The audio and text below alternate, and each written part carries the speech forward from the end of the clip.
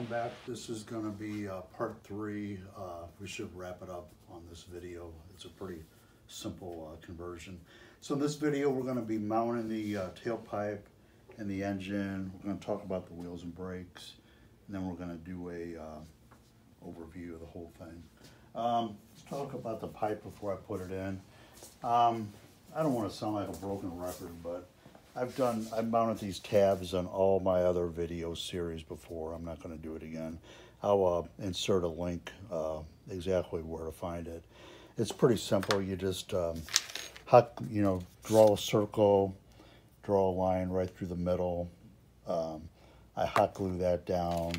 I bond these on with JB Weld, and then I uh, stick in four rivets and uh, all the other videos uh, called out in detail, um, so we're not going to do that. Um, so this one here, well, we're ready to install the pipe.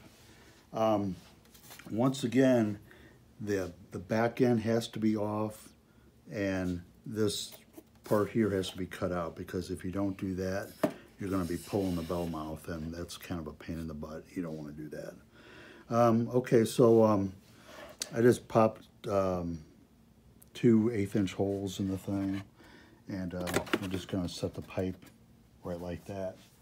Um, we need to bond in the um, tailpipe ring. Um, I just painted it black because it looks better.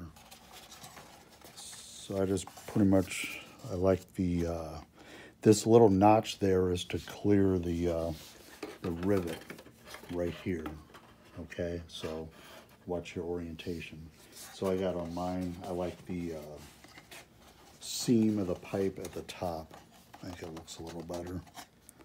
So you just pretty much center this up.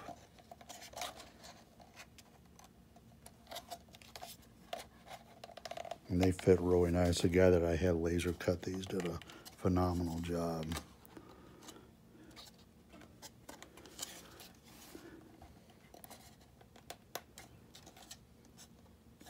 Okay, so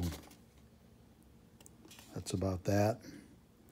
Um, so I just uh, run a little bead of thin CA around there.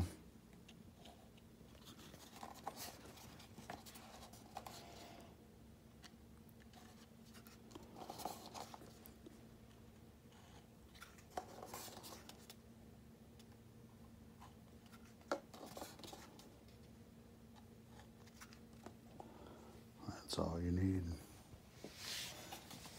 Give it a quick kick. Okay, so now this is ready to go on. There we go. You gotta slide this in here like that. And you gotta fish it through the uh, tailpipe ring.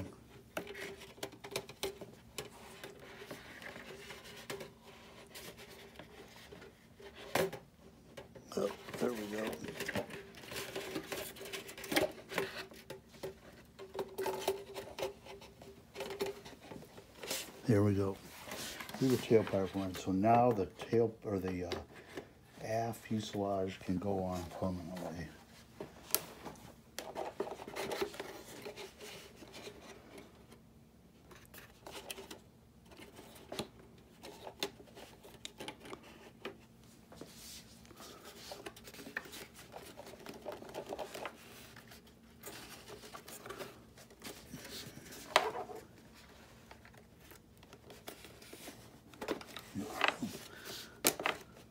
Just like that.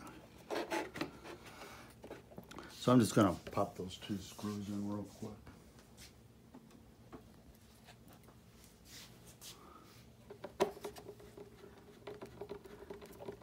And this thing kind of snaps on. Um, I have never unsnapped it. I imagine you can. You just gotta push in those tabs a little bit. But I really see no reason to unsnap it.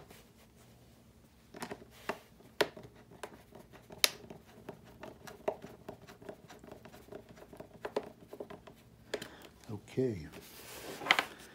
So now what I do is side to side, I mean, it, everything fits like perfect. Okay, so I just line up the back end of the pipe with the end of the model, right like that. So it's positioned fore and aft, it's positioned side to side. So you just draw two little hole or circles here.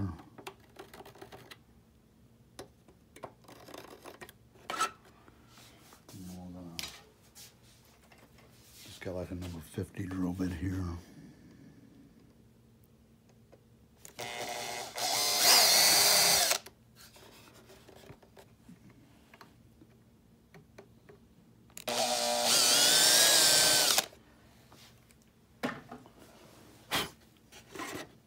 And we'll screw that down.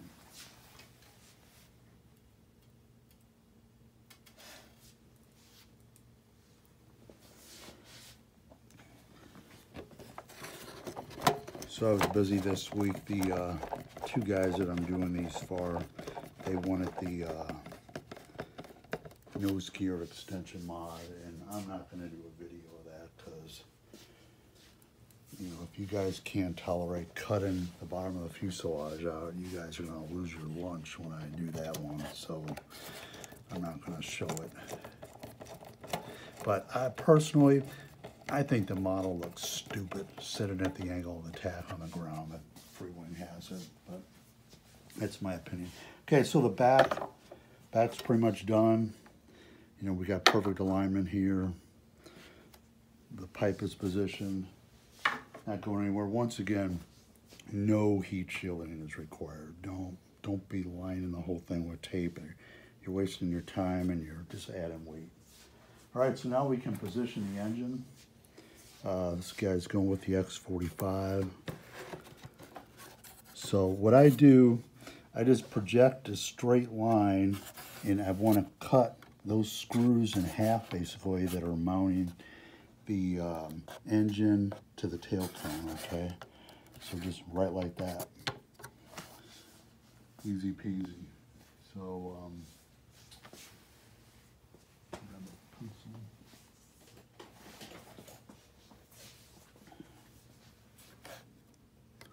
You just circle these holes. You know, the engine's located. So if you look up the back end of it, I don't know how well you'll be able to see it on video. I'll hold it up to the light. I mean, the engine is like perfectly centered in the, uh, the middle of the tailpipe. So I'm not gonna drill the holes and all that. You guys can to do that. So, you know, all the holes got good edge distance. I mean, what more do you want? And then once again, this slot here is to run the um, fuel line and three wire connector up. So once you got the engine and everything located, um, we can put this piece back. I'm set up here, ready to put it back on this model. Uh, you do got to cut off about an eighth inch. There's little tabs sticking off of here. You got to cut them off to uh, allow clearance for the wood and everything. So um, I just got this screwed to this, so this part will become part of the model again, and the hatch will be removable. So I'm just gonna Gorilla Glue that down.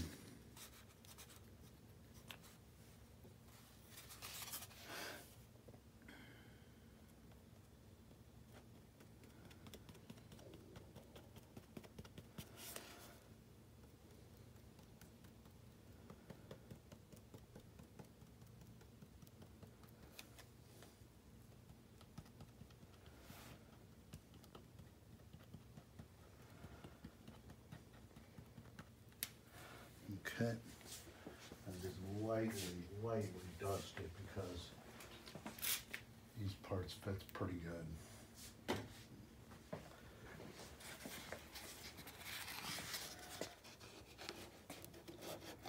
Let's drop it straight down. Once again, that draft that we cut on this, this really plays to your advantage right now. Right like that. Walk away. Okay, so uh, I'll just show you the nose gear mod. Um, so basically what it does is. I've added this, this piece of aluminum here. It's 5 eighths of an inch long. It goes from here to here. This part of the gear right there used to touch the steering arm. So in order to do that, you got to uh, move the gear aft because if you don't do that, the uh, tire um, runs into your uh, linkage there. So it's a process. It, it, takes way longer than I thought it would. Uh, this is the fourth one I've done. I got it to a science, but you don't want to go there. It's it's a pain in the butt. If if if you want to really see it, if I, if I get a bunch of comments to show it, I might do it. But right now, I'm not planning on it. Um, but you know, I've slammed it down a few times, and it seems to be holding up. Okay, so um, let's talk about the wheels and brakes. And then one of the thing that nose gear mod does get like a a reinforcement plate up here because there's two G10 rails coming through that um, basically the uh, gear is mounted to now. So if you ever do, if you do do the nose gear mount and you rip, do a really hard landing and rip this mount out, I don't know what to tell you. So far it seems to be holding up. All right, so let's talk about the wheels and brakes. Um, I'm using these uh, things, they're called LDTs, and uh, I got mixed feelings about it.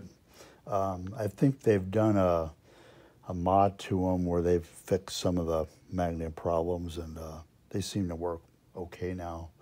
Um, but what I do is I mill out a slot here, and then I got to take the axle and I grind it back a little bit, or turn it on the lathe, and I put on a new flat spot. and uh, they fit in there real nice. And the reason I do that is because if you don't do that, see, I'm gaining about 140 thousandths right there. That's my step. If you don't do that, the wheel's going to be right up against the door, and chances are it's going to rub. I'm not saying you have to do this. It may work, um, but it, it spaces it out just right so that when the tire goes up, it hits the mechanism that shuts the inner doors. And uh, on the prototype, it's been working fine. So, um, you know, that that's how you do it. You know, JPs would work too. Um, you know, these these seem like nice units, and uh, I've been having okay luck with them. All right, let's. Um, so this is wrapping up. We're going to talk uh, just to do a general overview. Um, oh, one thing I did do uh, last uh, video I was talking about putting the wires through. I one thing I did forget was I did the uh, gear, ailerons, flaps, and the lights. I forgot the brake line, so uh, I added a brake line last night, and uh, it wasn't that hard. I was able to like fish an inner nylon rod up through there, and then I taped the wire on, and it, it fed right through. All right, so you know it wasn't the end of the world. So. Um, we're going to do a general overview. Um, this thing does have the blue box in it, but I'm just running the blue box for the gear and the uh, the nose gear doors. Um, it, it's standing up right. I don't know if it's hard, might be hard to see it, but it's standing up right under or underneath the uh, receiver. And if you plug the gear doors into that and the uh, three gear wires and then plug that directly into the receiver, it takes care of all the sequencing and all that that you don't have to mess around with in your radio. Um, so well, let's talk about the receiver shelf here real quick.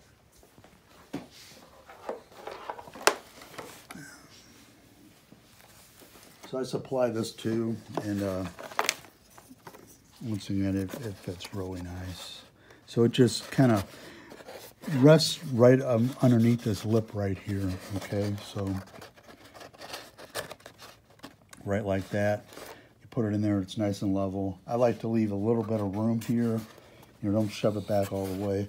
Leave a little bit of room and you can run all these wires up through this spot right here and it just neatens up your installation.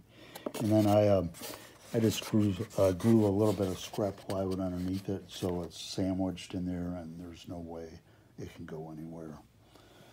So uh, once again, you the blue box is fine just for the gear, but all the other flight controls, they're going directly to the receiver.